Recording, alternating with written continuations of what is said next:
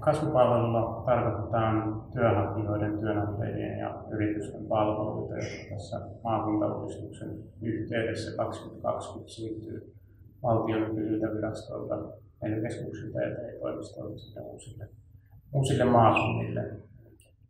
Nämä palvelut ei siirry nykymuodossaan uusille maakunnille, vaan tarkoituksena on tehdä palveluuudistus, jossa palvelujen asiakaslähtöisyyttä ja vaikuttavuutta kehitetään.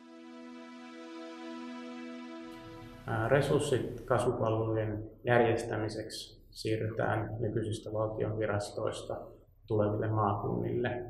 Kansallisen rahoituksen osalta puhutaan sellaisesta vajasta 800 miljoonasta eurosta, joka siirtyy osaksi maakuntien yleiskatteellista rahoitusta. Se yleiskatteellinen rahoitus tarkoittaa sitä, että maakunnat tekee omia päätöksiään oman toimintaympäristön ja palveluntarpeiden mukaan siitä, että miten eri tehtäviään rahoittaa. Kasvupalvelun lisäksi sote-palvelut esimerkiksi on osa sitä yleiskatteellista rahoitusta.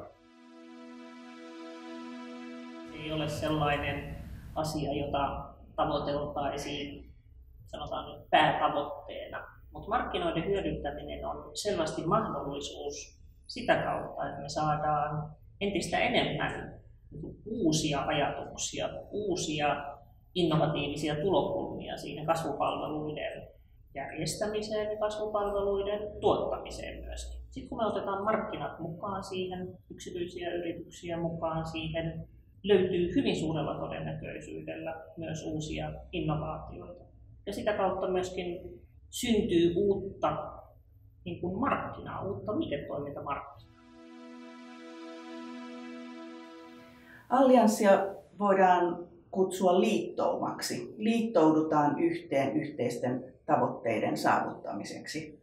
Suunnitellaan ja toteutetaan asiat yhdessä. Vastataan tuloksista yhdessä ja, ja jaetaan hyödyt, riskit yhdessä. Ja tätä varten muodostetaan yhteinen organisaatio. Allianssi edellyttää ainakin kolmea asiaa. Avoimuutta, ja keskinäistä luottamusta sekä halua tehdä yhdessä parempaa.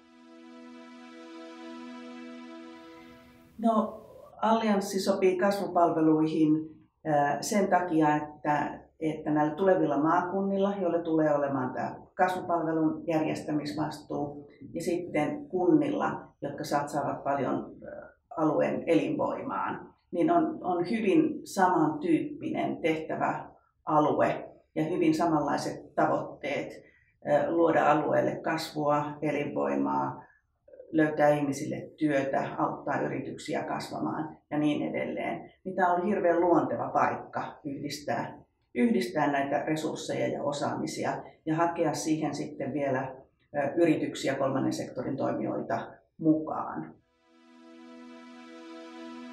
Suomessa on nyt 6-7 vajaan seitsemän vuoden aikana tehty noin 50 allianssiprojektia. Tämä on saanut meillä aikaa valtavan tuottavuuskehityksen. Tämä allianssihan on lähtöisin Australiasta, mutta samaan aikaan hyvin samantyyppisiä integroituja toteutusmalleja on tehty USAssa, jossa tähän kehitykseen on ollut syynä itse asiassa sosiaali- ja terveydenhuollon palvelutuottajat, jotka on kyllästyneet rakennusalan riitelyyn.